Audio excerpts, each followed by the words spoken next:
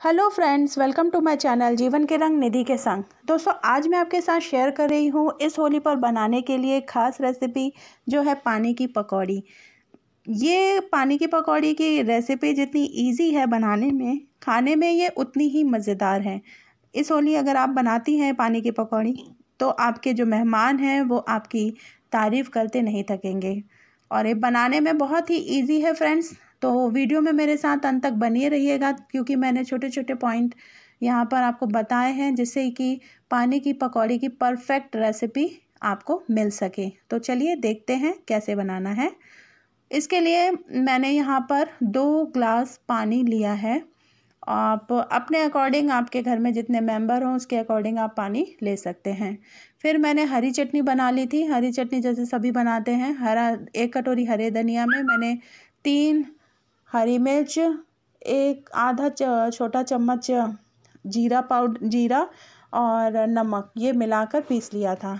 तो यहाँ पर पर ग्लास एक चम्मच चटनी मैंने डाली है और इसे इस तरह से मिला लिया है। अब हम इसमें ऐड करेंगे मसाले। हमें खट्टा पानी बनाना है इसलिए।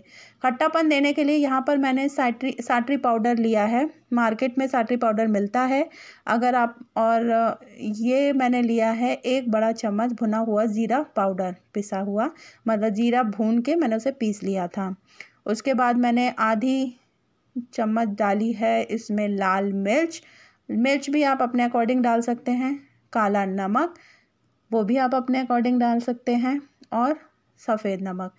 तो नमक और मिर्च तो आपके ऊपर है, आप जैसा खाते हैं, जैसा आपका स्वाद है। ये मैंने दो चुटकी करीब हींग पाउडर डाला है और एक बड़ा चम्मच चाट मसाला पाउडर।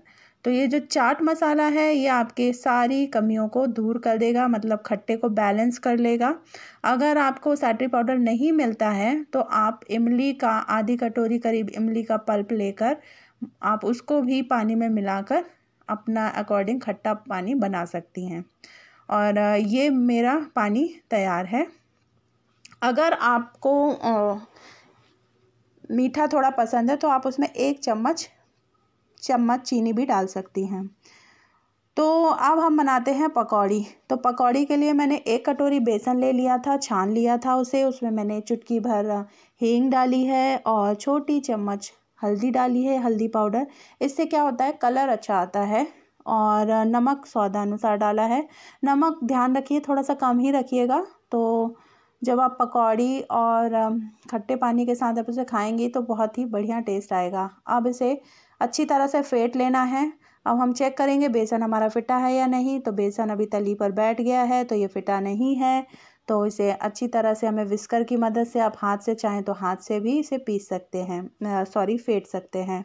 अब हम देखेंगे बेसन यहाँ पर मेरा अच्छे से फिट गया है। देखिए बेसन आराम से ये पानी के ऊपर तैर रहा है। अब एक तरफ़ तेल मैंने पैन में गरम कर लिया था।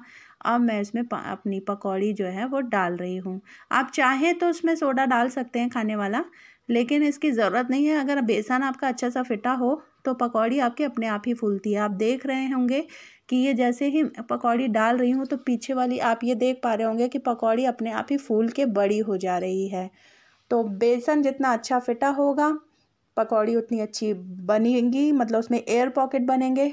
तो जब आप उसे पानी में डालेंगे तो वो बहुत ही आसानी से पानी को एब्जॉर्व कर लेगा और काटने पर वो बहुत ही सॉफ्ट रहेगा। तो यहाँ पर दो से तीन मिनट तक गोल्डन कलर होने तक आपको मीडियम आँच पे आप ये पकौड़ी अपनी तलनी है और जब ये पकौड़ी गोल्डन कलर की हो जाए तो वो अपने आप पता चल जाता है थोड़ी सी वो क्रिस्पी क्रिस्पी हो जाती है। तो ये मैं अब जो है मेरी पकौड़ियाँ तल रही हूँ और ये आई थिंक कि ये गोल्डन अच्छा हो गया है और मैं इसे उतार लूँगी। तो ये देखिए पकौड़ी तैयार है तलकर और मैं इसे प्लेट में अलग निकाल लूँगी। आप, अपने अकॉर्डिंग मतलब जितना आपके गेस्ट आ रहे हैं या उसके अकॉर्डिंग आप इस तरह से बना सकते हैं। पानी भी आप उस तरह कम ज़्यादा कर सकते हैं। तो ये देखिए फ्रेंड्स ये पकौड़ी मेरी तल कर तैयार है। और अब मैं उसे डायरेक्ट ही, जो गरम पकौड़ी थी, उसे डायरेक्ट ही मैं पानी में डाल दूँगी। तो क्या होगा?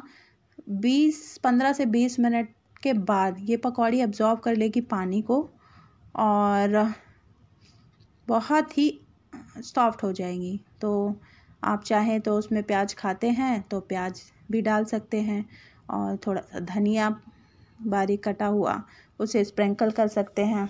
तो ये चटपटेदार आपकी पानी की पकौड़ी बिल्कुल तैयार है। मैं आपको एक बार काट के दिखा देती हूँ।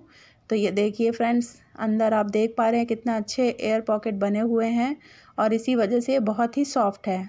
तो आप इस होली ज़रूर ट्राई कीजिए और मेरे साथ अपने एक्सपीरियंस कमेंट सेक्शन में शेयर कीजिए। मेरे नए वेयर हैं तो प्लीज़ चैनल को सब्सक्राइब कर लीजिए और वीडियो पसंद आया है तो प्लीज़ इसे ज़्यादा से ज़्यादा लाइक एंड शेयर कीजिए। Thank you